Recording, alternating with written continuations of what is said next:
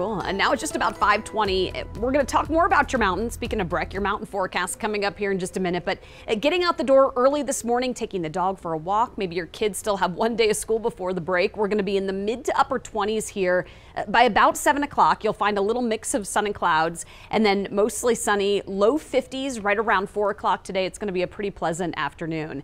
Warm and dry today. We are tracking a weak cold front here by midweek, Wednesday into early Thursday. Light snow is possible. Now, we talked about this yesterday, potentially just being in the mountains, but there is going to be a slight chance we'll see some light snow showers here across the plains early Thanksgiving morning. Right now, though, we're at 32 in Denver, so upper 20s and low 30s. You'll find some pretty calm winds through the morning. We're going to get to near 50 degrees as early as lunchtime, right around 12 o'clock. And in the mountains again today, more upper 30s to low 40s. Uh, temperatures this afternoon will be again right around 50 to about 55. And then overnight tonight, we'll see some clear skies early tomorrow morning, 20s and 30s again to kick off our Wednesday.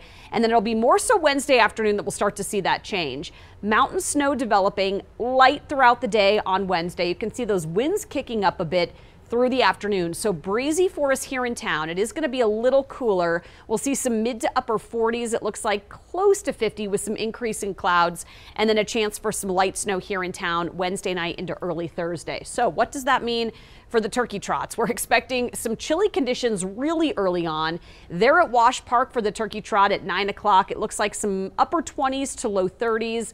Light snow possible early on, and then we'll gradually see some clearing skies. More sunshine and upper 30s by lunch, and then things will really warm up for the weekend. We're again talking low mid 50s Friday, closer to 60, Jason, Saturday and Sunday.